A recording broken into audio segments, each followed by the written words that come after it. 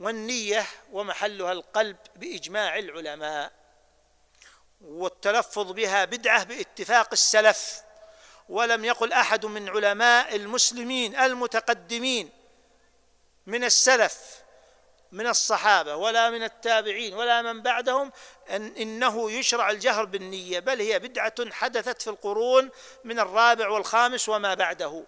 وأما الذين يزعمون أن الشافعي رحمه الله تعالى يقول يجهر بالنية فهذا خطأ في في فهم كلام الشافعي. وقد أنكره أكابر علماء الشافعية وأنكره غيرهم من أهل العلم. فاحذروا من هذه البدعة التي انتشرت في الناس اليوم. وهي قول القائل نويت أن أصلي ونويت أن أتوضأ ونويت أن أحج ونويت أن أعتمر ونويت أن أتمتع ونويت أن أتصدق. كل هذا بدعة لا أصل لها. إنما السنة أن تكون النية بالقلب ويشرع الجهر بالمنوي لا بالنية في أربع عبادات الحج والعمرة والهدي والأضحية والعقيقة. هذه خمس ليس أربع خمس.